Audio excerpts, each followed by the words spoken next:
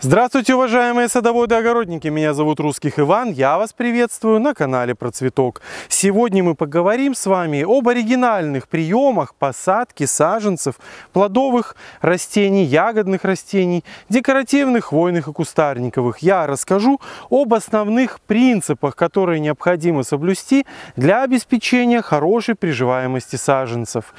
А, первый прием, который нам позволит получить хорошую приживаемость саженцев, это копка адекватного размера ямы. Э, яма должна быть выкопана таким образом, чтобы корневая система саженца, мы должны его обязательно осмотреть внимательно, оценить объем корневой системы, чтобы саженец этот попадал туда, внутрь полностью, чтобы корешки не загибались, не загибались из ямы, когда они, в яму, когда они попадают, чтобы они не торчали, не загибались вот таким вот образом. И чтобы корневая вот эта шеечка была ниже Э, уровня ямы, борта ямы верхнего, ну, на несколько сантиметров. Сейчас вы поймете, почему это необходимо. Вообще саженец состоит из корневой системы. Вот эта вот часть, где развиваются корни, называется подвоем. Вот эта вот часть называется привоем. Вот эта часть как раз является сортовой.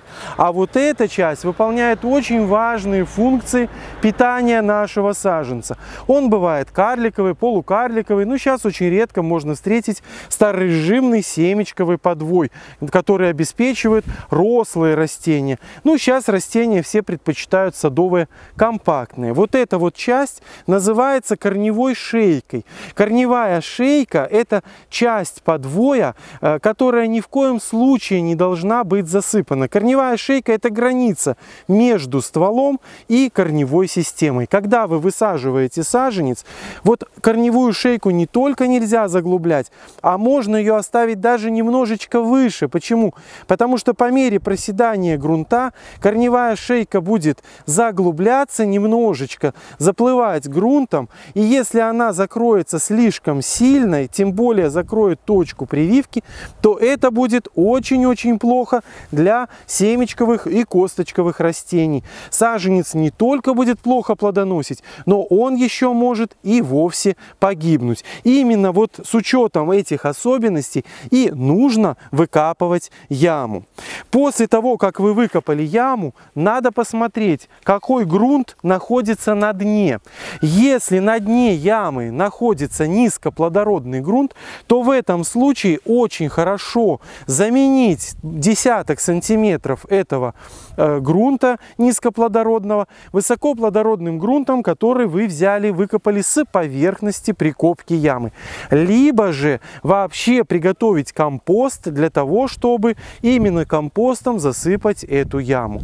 После того, как вы приготовили яму, вы можете взять минеральное удобрение, и вообще я небольшой поклонник использования органических удобрений, больших доз минеральных удобрений для заправки ямы. Сейчас корни должны как следует прижиться, как следует им надо дать возможность начать расти. И вот высокие дозы удобрений будут создавать неблагоприятные условия для роста корней, а корни должны углубляться внутрь в поисках воды и в поисках питательных веществ, потому что корни это и ноги, и желудок, и проводящая система для растения.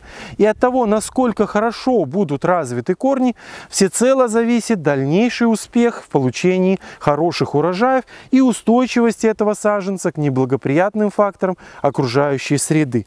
Но можно взять буквально одну горсть небольшую удобрения и поместить на дно ямы. Между слоем удобрения и корнями должен быть слой грунта, ну хотя бы 5 сантиметров, для того, чтобы корни непосредственно не контактировали вот с этими крупинками удобрений.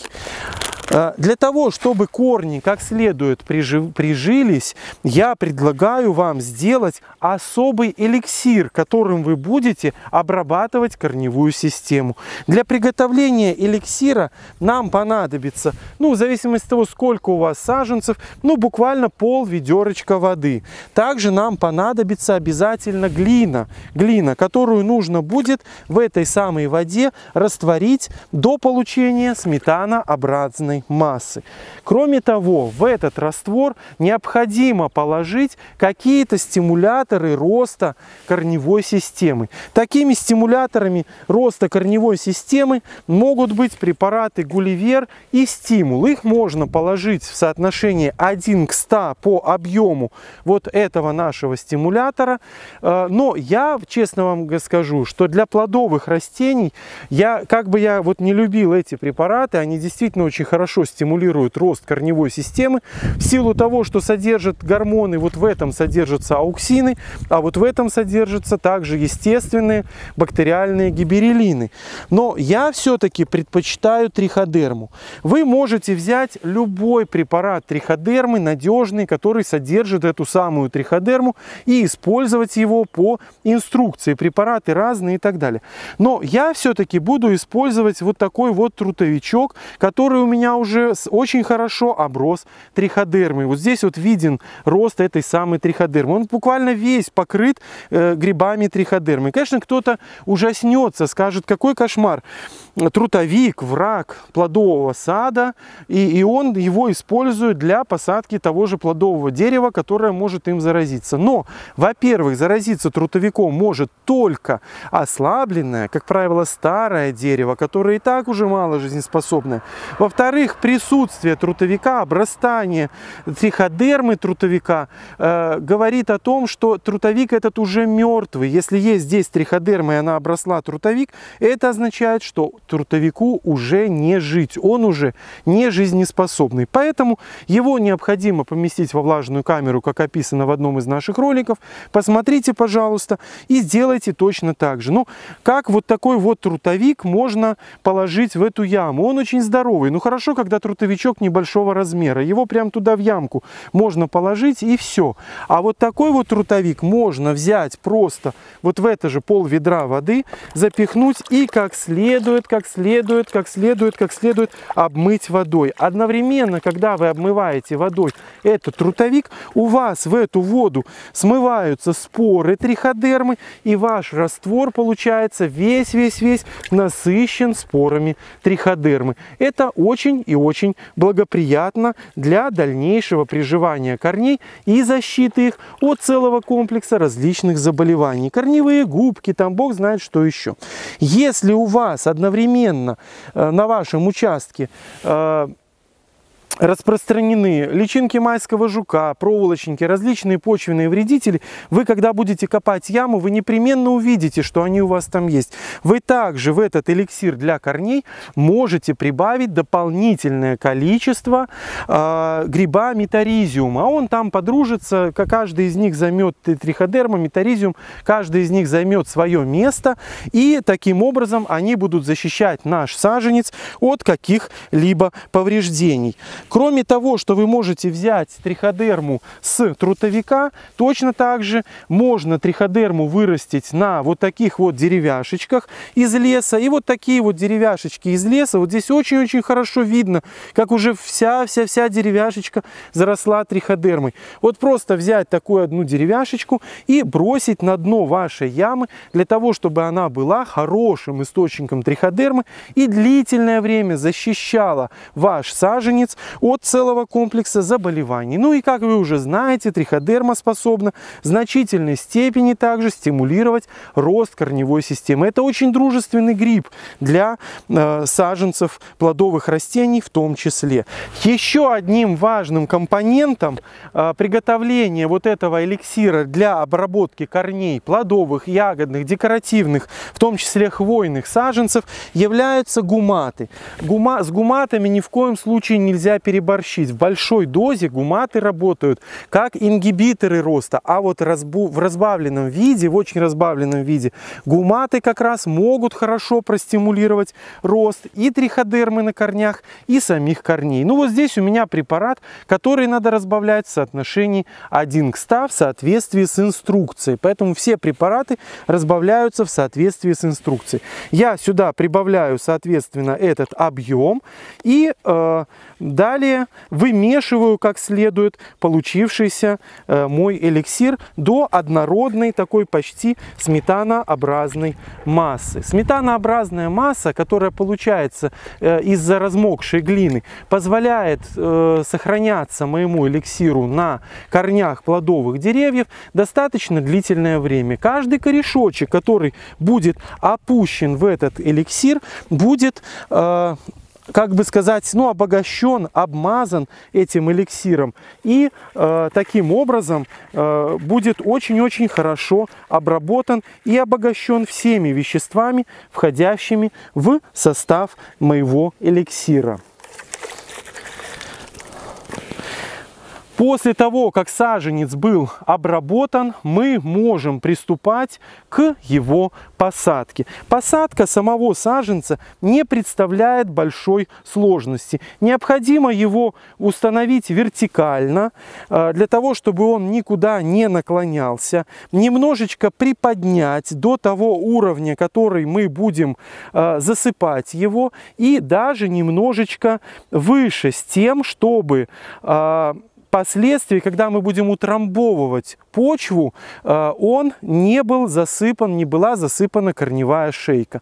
Когда саженец засыпется наполовину, его в обязательном порядке необходимо полить. Поливать его надо чистой водой, но я рекомендую полить его не просто чистой водой, а с добавлением на ведро воды одной чайной ложечки нашатырного спирта. Во-первых, это дополнительное азотное питание и будучи закопанным в землю, вот этот вот раствор, попавший в землю, он не будет слишком быстро испаряться из э, почвы.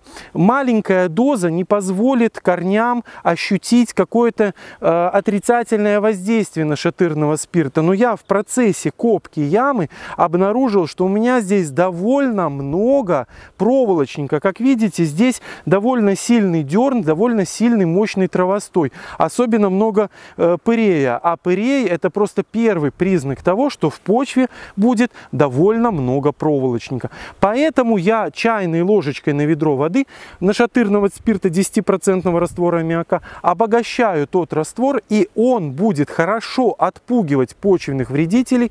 Метаризиум будет тех вредителей, которые подползли, уничтожать. Триходерма будет стимулировать рост корневой системы и отбивать атаки различных патогенных грибов. Ну и гума томаты будут также хорошим, хорошим ростостимулятором для того, чтобы саженец прижился очень и очень хорошо. Таким образом, вот так вот, так вот посаженный саженец без полостей внутри, то есть именно вот этот полив в процессе посадки саженца не позволит образовываться полостям воздуха внутри и позволит почве как следует прилегать к корневой системе.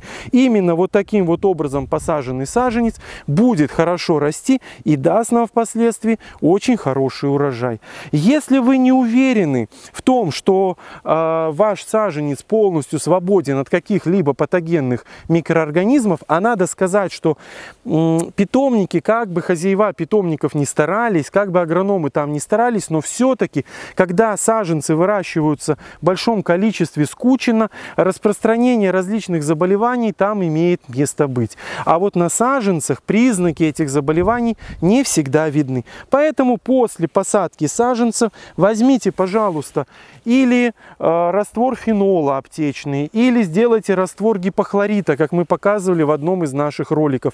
И обработайте поверхность саженца, можете промазать ее, его весь-весь-весь от верхушки до низу кисточкой, либо можете опрыскать его полностью, но в этом случае, конечно, расход раствора будет повыше.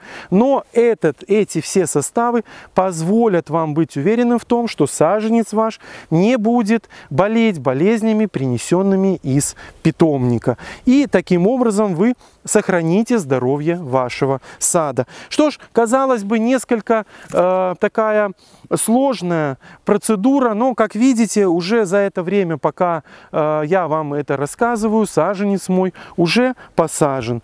И э, занимает все это не так много времени. Если у вас много саженцев высаживается, вы уже сделали болтушку, и все саженцы в эту болтушечку будете опускать, опускать, опускать, и таким образом э, у вас работа пойдет спора и быстро. Что ж, на этом я заканчиваю свой рассказ о приготовлении такого эликсира для э, саженцев и о основных правилах и принципах посадки саженцев. Надеюсь, какие-то элементы этой технологии пригодятся вам. Ну а если вы хотите дать 150% технологии, то можете использовать все до единого приемы при посадке саженцев, о которых я вам сказал. Что ж, э, посадка кустарников той же смородины отличается от посадки э, косточковых и семечковых э, саженцев деревьев лишь тем, что различные кустарники, смородину, крыжовник, красную, черную смородину, малину можно заглублять почти до половины, засыпать корневую шейку, до половины высоты саженца. А вот косточковые, семечковые и орех, и грецкий фундук засыпать шейку ни в коем случае нельзя. Применяя эти правила и простые приемы, вы добьетесь прекрасного урожая. На этом я прощаюсь с вами. Хороших урожаев и до новых встреч! Thank you.